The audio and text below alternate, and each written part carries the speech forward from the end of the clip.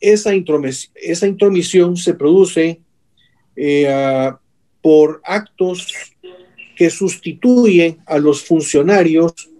y que no pudo ser más que por motivaciones políticas. Esto aparte de las decisiones antimineras y decisiones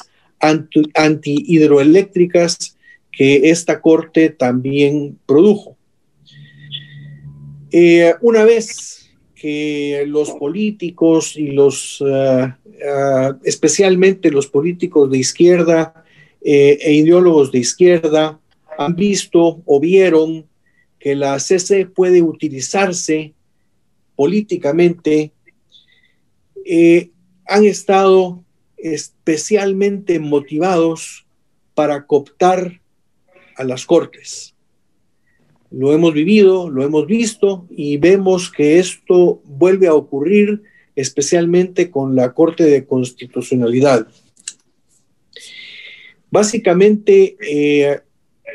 los eh, males que se derivan de la Corte de Constitucionalidad actual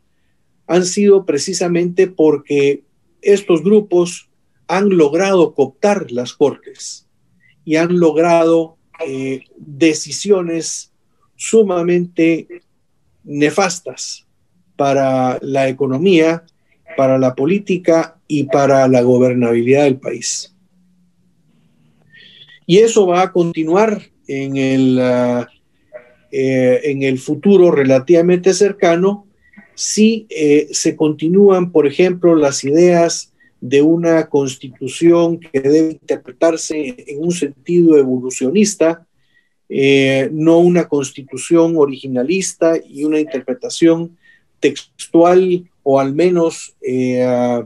buscar el espíritu de la propia constitución, el espíritu, la historia de, de su, la historia fidedigna de su institución,